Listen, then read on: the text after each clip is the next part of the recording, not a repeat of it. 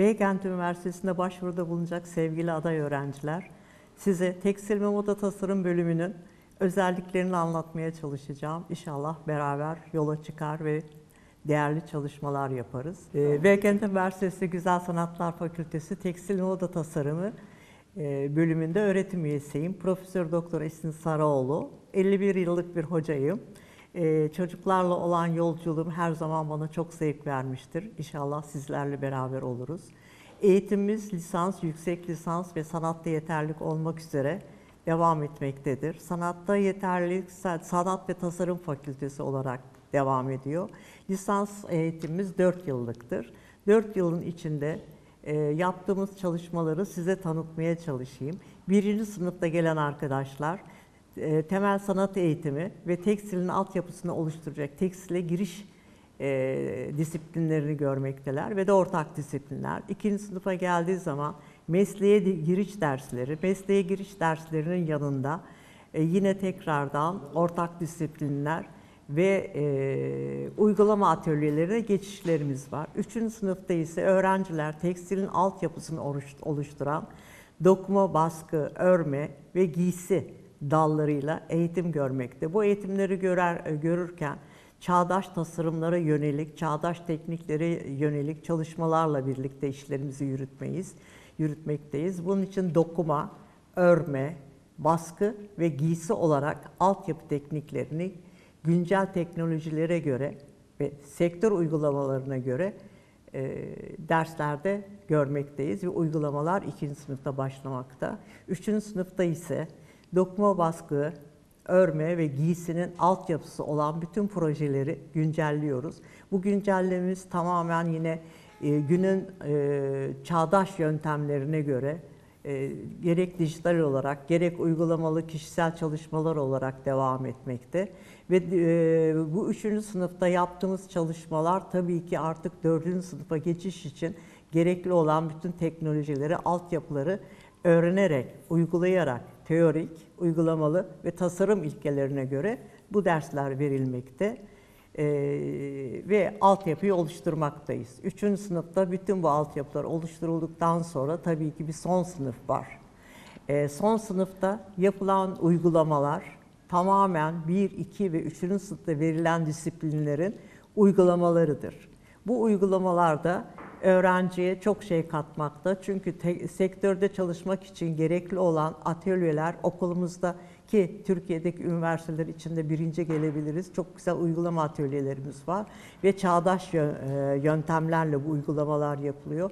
Elektronik e, e, dikiş makinelerimiz, ütümüz, overlock'umuz, baskı e, e, atölyesinde olan baskı sistemleri, dokumada olan dokuma atölyelerimizdeki e, uygulama tezgahları ve de örme atölyesinde yine makinelerimizle eğitimimize bütün olarak devam etmekteyiz.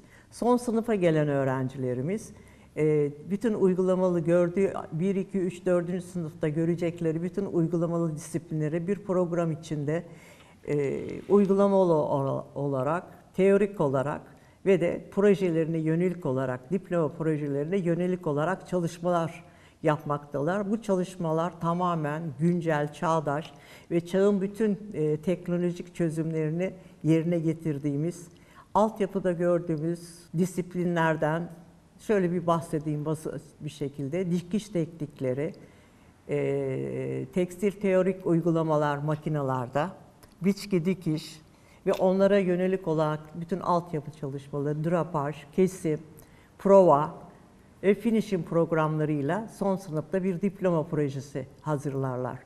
E, e, bu proje önerilerine göre yine sürdürülebilirlik ve döngüsel moda olarak da incelenerek projelerinde aktarılmaktadır.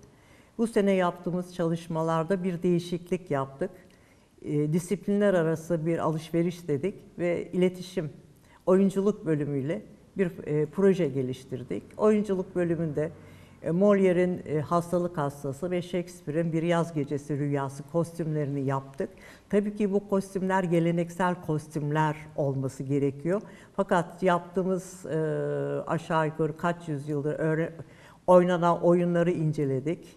Bunların çağımıza göre nasıl uygulanması gerektiğini düşündük ve onlara göre uygulamalar yaptık ve bunu hayata geçirekle hakikaten çocuklarla çok zor bir projeye imza attık. Oyunculuk bölümü e, sanat günlerinde, işte mezuniyet defilemizde ve dışarıdaki e, yaptıkları oyunlarda bu giysilerle programlarını tamamladılar. Şimdi bunu yapmak öğrencimize ne verdi? Öğrencimizin geçmişten geleceğe doğru yaptıkları araştırma, inceleme, e, denetleme ve de onlara görsellerle desteklenmesi diye bir tarihi bir çalışma yaptılar. Bu çalışmaları yaptıktan sonra acaba biz neredeyiz ve bu dönemde ne yapabiliriz? Çağdaş olarak yapacağımız ne olabilir? Ve biz bu öğrencilerle bu oyuna nasıl dokunuruz diye bayağı bir uzun bir çalışma sistematiğini geliştirdik. Bu çalışma sonunda herkesin aldığı karakterler vardı. Bu karakterlere göre de çizimlerini yaptılar. Ama bu çizimleri yaparken geleneksel olarak bütün o dönemlerde oynanmış oyunları incelediler ve herkes bir karakter oluşturdu. O karaktere göre tasarımlarını yaptılar. Ee, birinci tasarımımız böyle gelişti. İkinci ve üçüncü tasarımımızda tamamen sürdürülebilirlik, moda ve döngüsel tasarım olarak işimizi gerçekleştirmeye çalıştık. Üç giysi yaptık. Hakikaten öğrencileri hem geçmişten günümüze bir deney yaptırdık hem de güncel olarak tasarım olarak ne yapabiliriz? Sürdürülebilirlik ve döngüsel moda nedir? Onları anlatmaya çalıştık. Ee, bu sene başarılı, her sene olduğu gibi başarılı bir çalışmamız oldu. Bu öğrenciye ne kattı? Nasıl düşünecek? Nasıl hareket edecek? Geçmişten günümüze getireceği şeylerle nelere varabileceğini ve o e, yorumlardan çıkarak güncel tekniklerle, çağdaş tekniklerle ne şekilde özellikle biliyorsunuz çağımızın dijital tekniği her şeyin önüne geçiyor. Bizde baskıda dijital kullanılıyor ama dokuma, giyim e, olaraktan, örme olaraktan yine tabii ki makinelere bağlıyız. E, dikiş teknikleri olarak da ben de yine e, sektör e, makinelerine bağlı olarak çalışıyorum. Ama bir yerde öğrenci bu kadar tekniğin içinde tasarımı nasıl geliştirebilirim? Tasarım benim olması, benim adıma olması için nasıl markalaşırımı e, bu sene e, bayağı yoğun irdeledik. Çünkü yapılan tasarımlar tarihsel geçmişten gelenler tamam o şekilde sürdürebilirliği yaptık, gördük ve ben buna ne katabilirim, ne çıkarabilirim, ne koyabilirim şeklinde çalışmalarını geliştirdiler. Ee, bunun yanında bizim stajımız var. Stajımız son sınıfta yapılıyor. Bunun nedeni de e, öğrenciler 4 yıl içinde gerek sektör gezileriyle, sanat günleriyle e, sektöre de e, dokunuyorlar. Ben özellikle e, Moda ve Hazır Giyim Federasyonu'nun da üyesiyim. Federasyonla ilgimiz yani sektörle ilgimiz çok e, iç içe ve en son teknikleri de onlar vasıtasıyla eğitimimizin içine katıyoruz. Özellikle sanat günlerimizde bunları daha da detaylı olarak uyguluyoruz. Son sınıfta yapmamızın nedeni bize şöyle bir fayda getirdi. Öğrenci 4 yılda eğitimini alıyor, sektörü çalışma, tanımaya çalışıyor, tanıyor da. Çünkü bunun için özel programlarımız var, onları uyguluyoruz. Ama çocuk son sınıfta staja gittiği zaman 30 gün iş günlük stajında girdiği firma onu beğen, beğenirse, yaptığı işlere düzenli bulur ve de tekniğine hakimse, sektörün tasarım ilkelerine hakimse işine devam ediyor. Böylece bu tarzda biz %90 öğrencimize okulu bitirir bitirmez iş bulma durumundayız. Ee, geçen yıl 19 e, öğrencimiz mezun oldu. 19 da şu anda sektörde iyi yerlerde.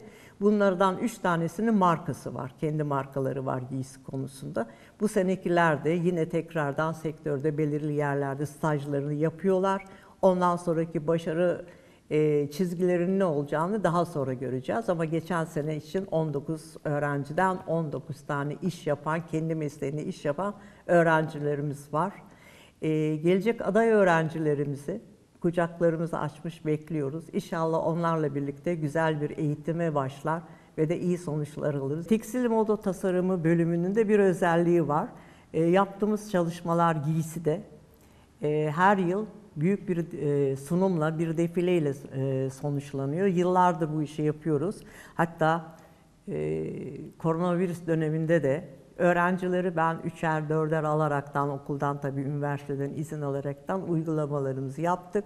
Eğitim olmadığı halde Oligark'ta güzel şık bir defileyle kendimizi tanıtmaya çalıştık. Bu bizim açımızdan çok e, güzel bir sunum oldu.